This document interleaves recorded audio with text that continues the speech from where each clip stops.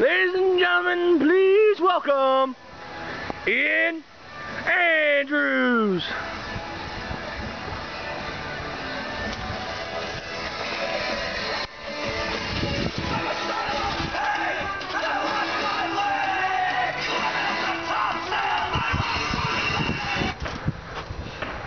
For the past few weeks here on DDW, I've been promising a new world order.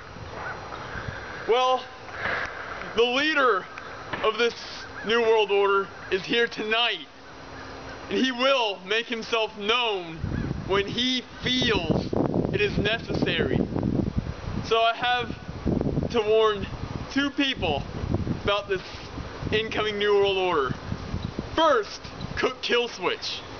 This the leader of this new world order has told me he will stop at nothing to claim the world heavyweight title. And second, Ariano Diaz. You're already on this guy's shit list, and you're at the number one spot. That's it.